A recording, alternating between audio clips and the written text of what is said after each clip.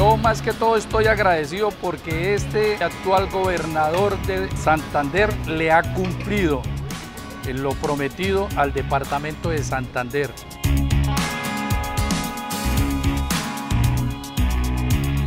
Le ha cumplido a la gente, que es lo más importante.